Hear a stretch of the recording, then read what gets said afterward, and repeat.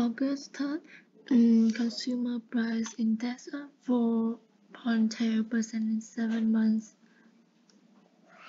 Uh, Vietnam's consumer price index in the January to July period is up 4.2% from the same last um, last year, according to the General Statistics Office.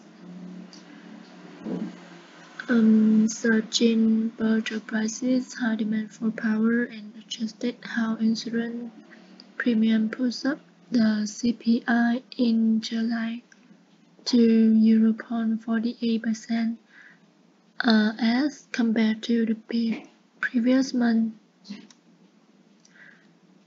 Among the 11 main groups of consumer goods and services, 10 saw price uh, hikes compared to the previous month, while postal and telecommunications uh, uh, telecommunication services remain unchanged. Uh, the group of medicine and medical services recorded the highest increase of 8.30%, uh, followed by education with price climbing uh, by 8% as a result of higher tuition fees in several localities during the 20 and 23 to 20 and 24 academic year. Uh, other goods and services grew uh, 93% with the fees of uh, notary, insurance, and other services expanding uh, 17 bond 86% and personal services 6.5%.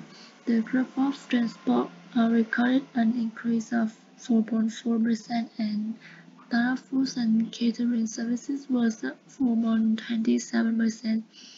Also in the month, domestic gold prices fell a 1% as compared to June, uh, white rises by 18 11% to last year and 39.39% year on year.